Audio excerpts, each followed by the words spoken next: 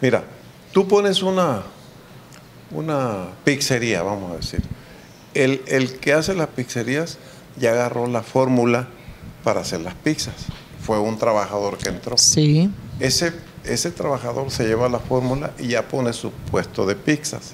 Viene siendo lo mismo. Sí, claro. Entonces, en este caso, los cantantes pueden durar el tiempo que quieran aquí en la banda y sin olvidar esa parte de que se pueden ir un día, porque un cantante de la arrolladora, pues se, se le hace la primera grabación, la segunda, la tercera, se da a conocer con el público y pues es lo que tenemos que hacer nosotros para poder entrar a los bailes grandes, tenemos que hacer números con el cantante. Claro. Entonces, si el cantante se va, no se le va a detener. ¿Por qué? Porque no, no se puede detener a una persona que quiere trabajar.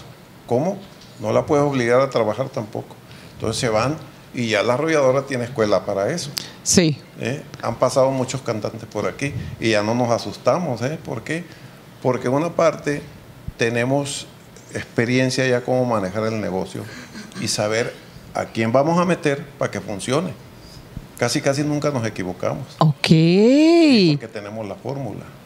Así igual uno que, que se va a preparar sushi. ¿eh? Llega a una, a una parte, un restaurante de sushi. Es el mejor sushi de todo, de todo, de toda la ciudad. Entonces, el muchacho ese que entró aprende a hacer el sushi. ¿Por qué? Porque ve la fórmula cómo y ya se sale a los poquitos días y pone su negocio.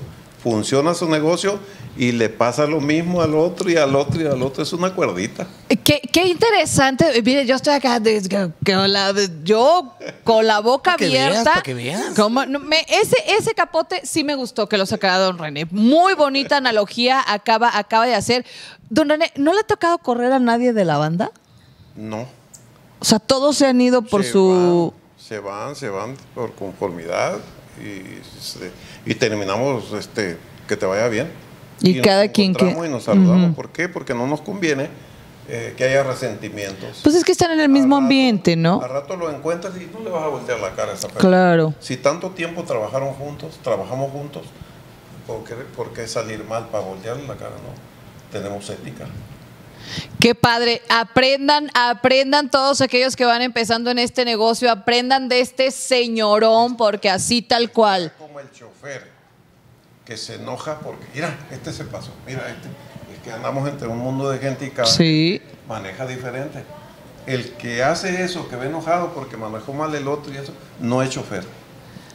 ¿Qué tal? ¿Qué tal eso? No, no, si me muchachos, chulada. déjenme platicar aquí con Don Eh, vámonos. Nada más No, no, el cafecito